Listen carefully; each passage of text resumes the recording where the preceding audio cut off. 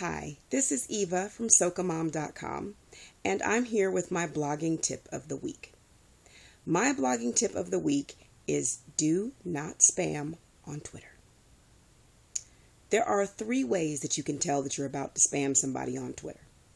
Number one, you put a keyword in the search box and found them.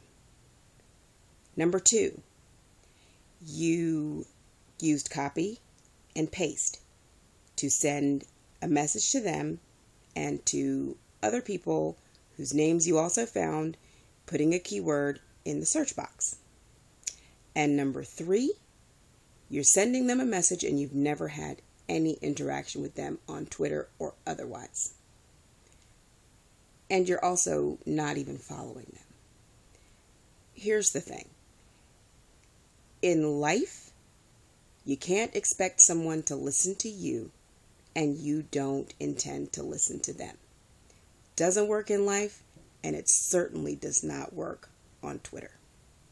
So, my blogging tip of the week do not spam on Twitter. Now, you've listened to me. Now I'm willing to listen to you.